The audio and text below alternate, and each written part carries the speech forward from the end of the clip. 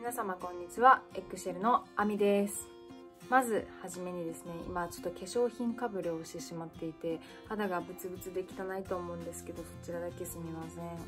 はいで今回の動画なんですけどセルフネイルケアをやろうと思います。簡単に言うと甘皮の処理になります。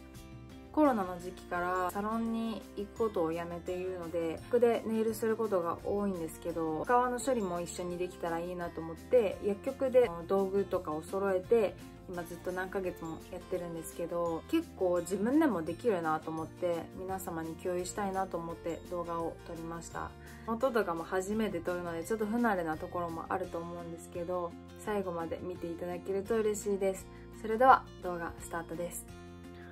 はいでは始めていきたいと思います。今の爪の感じはこんな感じです。この日のために爪を甘皮もたくさんある状態にしました。ここからね変化をさせていきたいと思います。使うのはこちら。こちらですね。キューティクルリムーバー。甘皮を切るものですね。この3つがあれば簡単に家でセルフ甘皮ケアをすることができます。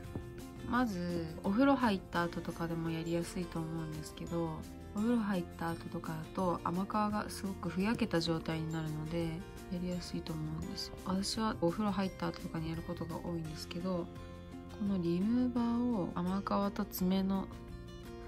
境目のところに塗ります。お風呂入った後とかだとこれを塗らなくても甘皮が処理できるんですけど例えばお湯につけるとかそういうのでいいと思うんですけどちょっと塗り込んで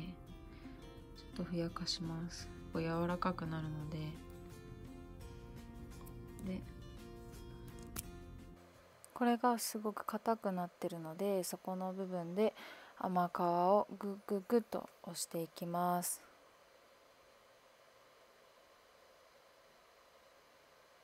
これはなんか爪がえぐりやすいのであんまり力強くしないように丁寧に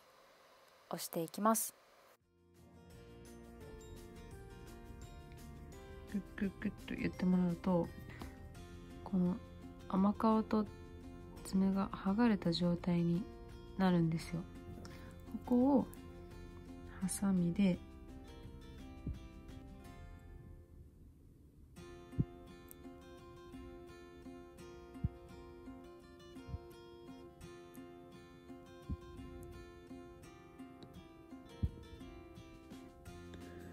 こうやって切ると甘皮が取れて爪は結構すっきりするんですよ。これがなんかまだ残ってる状態なんでこれをケアしてあんまりグググってやりすぎて甘皮をすごく出しすぎちゃうと血が出たりとかするんでそこだけは気をつけてもらって味の部分とか取りにくいのでたくさん取ってもらって爪が親指がこんな感じですね。この部分ってすごく皮がくりやすいんですよ。これをどう改善しようと思ってケアした後にこれネイルオイルなんですけどすぐ塗って揉み込んどくっていう作業をします。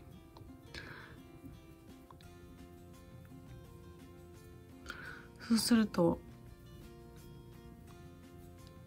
爪とかが守られて皮が剥きにくいのでこれを全部やっていきます。はい。今全部甘皮処理してきました。こんな感じですね。でオイルを一気に塗って甘皮処理したその日とかその甘皮がちゃんとしっかりしてない時とかはちゃんとオイル塗らないとささくれみたいなのがすごくできちゃって血出たりとかして痛いんでちゃんと定期的に塗るようにしています。今コロナの関係であまり自宅から出たくない人サロンに行きたくない人もいると思うんですけど家で自分でできるようになるとこのキットたちを揃えるだけで簡単に自分でできるので私はここのこのメーカーで全部揃えてるんですけど薬局とかに行ったら売ってるのでいろんな種類のものが。お好きなの選んで使ってみてください。甘皮の処理が終わったら爪を切るんですけどいつも。私はこの裏から見てこの爪がこの皮膚から出てるのが嫌いなのでこれも全部伐採して切っていきます。すごい短くなると思うんですけど iPhone とか触る時に爪がガンガンガンガンなるのが好きじゃなくってあと人を傷つけちゃうし爪が長いと。なのでこれも今から全部切っていきたいと思います。これは100均で買った爪切りなのかな？結構ちっちゃいやつを使用してて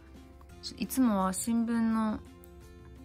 上でやったりとかゴミ箱の上でやったりとかするんですけど今日はちょっとおしゃれにここでやりたいと思います。首ちったやつはねちゃんと片付けるんで。これなんか甘皮処理の後にオイル塗ってるんでこう爪がちょっと柔らかくなってて切りやすいんですよ。白い部分があんまりないように。切っちゃうんで。結構こんぐらいまで切っちゃいますね。本当に皮膚に出るか出ないかぐらい爪切ってきました。だいぶすっきり。あと爪のヤスリもかけて形をちょっと整えたんですけどこんな感じで。手の印象で結構大事だと思ってて爪が綺麗かどうかとかもすごく大事だと思うんでこうやって家でセルフケアができたらより楽しいかなと思います。皆さんの参考になればいいかなと思います。